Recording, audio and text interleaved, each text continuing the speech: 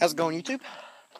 I know I haven't made a video since last Saturday, but like I said, when um, school got started, I won't have as much time, but it's Friday night.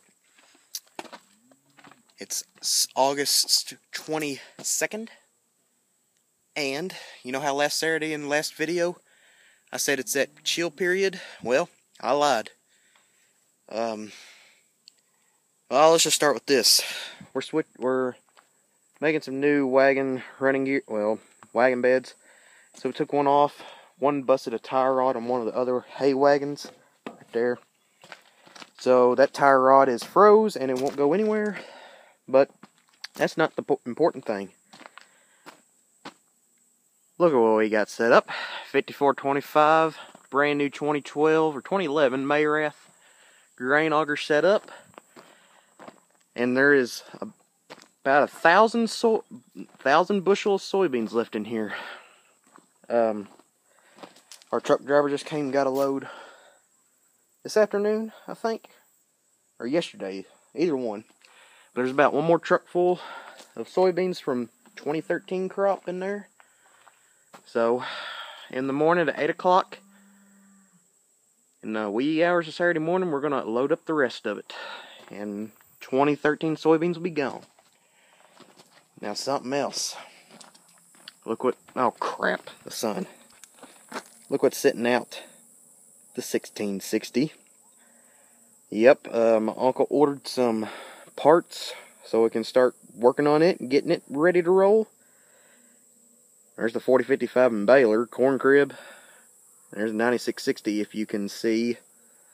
We won't get out and get it out until the soybeans are about ready because we run soybeans with the 9660 run mostly corn with the 1660 but we do run corn with it for custom people.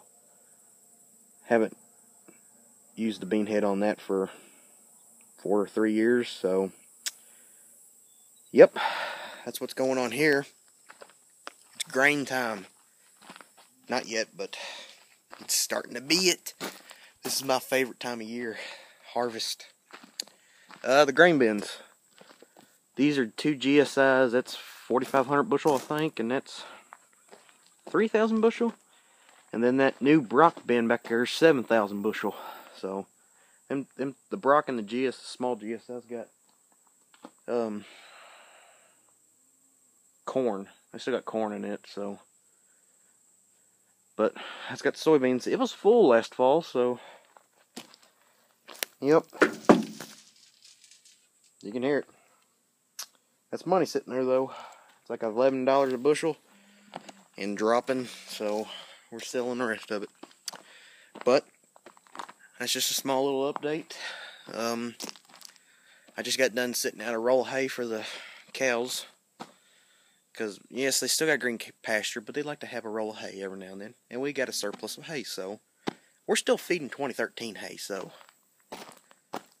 yeah. That's about it. So, thanks for watching. Please like, comment, and subscribe. We'll talk at you later. Don't know when it'll be.